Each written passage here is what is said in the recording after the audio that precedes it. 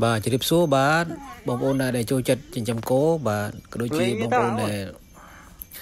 ស្រឡាញ់ខាងវិស័យចិញ្ចឹមគោអញ្ចឹងណាបាទថ្ងៃនេះខ្ញុំមកបង្ហាញវីដេអូមួយ គឺជាវីដេអូដែលគោបាទនិយាយពីគោអញ្ចឹងណាបាទ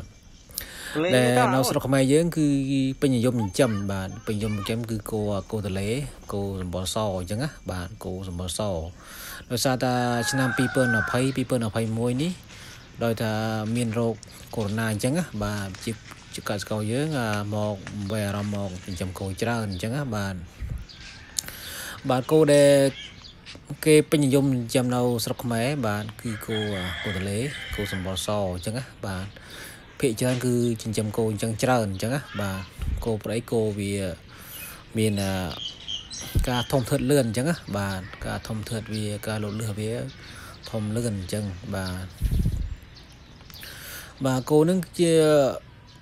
តាំងពីបុរាណមកបាទតាំងពីបុរាណកាលមកគឺគេចិញ្ចឹមបែបថាលក្ខណៈគ្រួសារអញ្ចឹងណា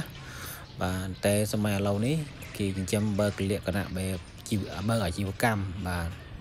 បើអាជីវកម្មលក្ខណៈຂະຫນាតតូចឬក៏ຂະຫນាតធំអញ្ចឹងបាទបាទគោនេះគឺគោពុយទលេដែលថាចិញ្ចឹមទៅវាបានផលលឿនអញ្ចឹងណាបានផលលឿនគឺតម្លៃក៏វាល្អល្អដែរអញ្ចឹងណា បាទគោវាមានជើងដៃធំធំ បាទធំធំឬក៏រូបរាងវាខ្ពស់អញ្ចឹងបាទបាទកុំភ្លេចជួយ Subscribe ឲ្យ Channel ខ្ញុំបានមួយផងដើម្បីមានវីដេអូថ្មីថ្មីទៀតបាទដើម្បីចែកចាយដល់បងប្អូនដែលខាងវិស័យចិញ្ចឹមគោក៏ដូចជាខាងវិស័យកសិកម្មបាទបាទនេះគឺពូជគោទលេដែលគេពេញនិយមចិញ្ចឹមបាទ ពេញនិយមចិញ្ចឹមនៅស្រុកខ្មែរយើងបាទច្រើនភាគច្រើនគឺចិញ្ចឹមបាទនៅខេត្តបាត់ដំបងខេត្តបន្ទាយមានជ័យចាបាទច្រើនណាស់បាទបាទគេចិញ្ចឹមច្រើនដោយសារតែវាធំធាត់បានលឿនអញ្ចឹងណាបាទរូបរាងវាល្អល្អដែរស្អាតស្អាតអញ្ចឹងបាទខុសពីពូជមកពីប្រទេសថៃអញ្ចឹងណាហ្នឹងបាទប្រទេសពូជមកប្រទេសថៃវារាងថ្លៃអញ្ចឹងណាហ្នឹងហើយបាទយើងដើម្បីយើងឲ្យវត្តពូជគោស្រុកយើងបាទ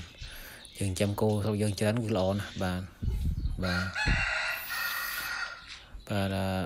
វីដេអូនេះមានតែប៉ុណ្្នឹងទេ បាទសូមអរគុណហើយនឹងជម្រាបលាដល់ជម្រាបលាបាទជាពិសេសខ្ញុំចង់ជូនដល់អ្នកខាងចាំគោសូមឲ្យសំណាងល្អសូមឲ្យជោគជ័យក្នុងខាងវិស័យចាំគោបាទបាទអរគុណច្រើនជម្រាបលា